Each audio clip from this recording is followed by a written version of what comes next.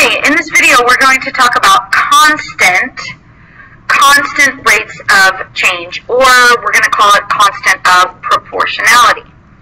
So, um, I want you to pause the video and write this problem down. Isaac sold granola bars to help raise money for orchestra. The table shows the amount of money he made in relation to the number of granola bars he sold. So write this down along with the table, and you can see that for two granola bars, he made $1.50. For three, he made $2.75, and so on and so forth. So pause and copy this problem down. Now I want you to write down this question over here.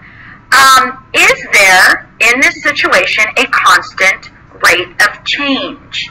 So I want you to think about what constant means. The same, consistent, and then rate of change. So I want you to think about whether or not you think there is a constant rate of change in this situation. And now here's another way to think about it. In other words, is there a consistent increase or decrease? So let's actually take a look at this. What is the difference um, or the change between 2 and 3? That's a change of 1. What is the change between $1.50 and $2.75, that's a change of 75 cents. What is the change here? 1. And what is the change here? 75 cents. So, do you think that there is a constant rate of change?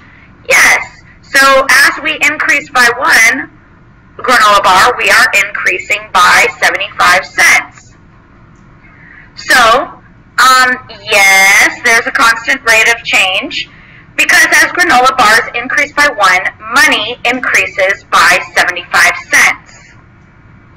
Now I want you to write down that this rate of change is called the constant of proportionality. It stays consistent throughout the whole problem. We have a proportional relationship. As granola bars increase, money also increases proportionally. Granola, uh, the money that you make depends on the number of granola bars that you sell. So the rate of change in this situation is the constant of proportionality. So in this situation, 75 cents is the constant of proportionality. So make sure you have that written down. 75 cents is the constant of proportionality. One more thing that I want to point out.